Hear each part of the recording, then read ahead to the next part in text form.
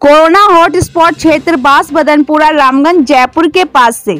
ताला गाँव आए तीन युवकों को पहले टेंट में रखा, बुधवार को किया जयपुर क्वारंटाइन। हॉटस्पॉट कर्फ्यू क्षेत्र से ताला अपने घर मंगलवार को ही आए थे।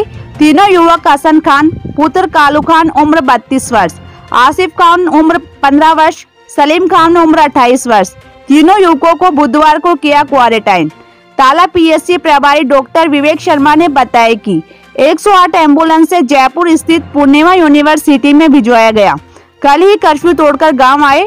स्थानीय लोगों को इनके आने की सूचना मिलते ही ताला पीएससी चिकित्सा टीम, ताला पुलिस चौकी टीम व अलका पटवारी ने कल देर रात से तीन युवकों को गाँव से बाहर खेत में टेंट लगाकर रखा गया था।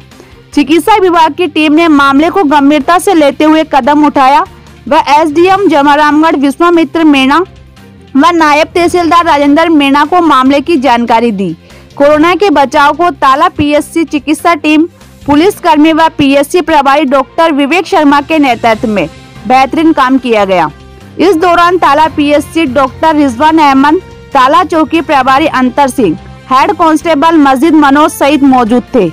ताला में व्यास की गली में आए युवकों को मंगलवार की देर रात एक खेत में टेंट लगाकर रखा गया।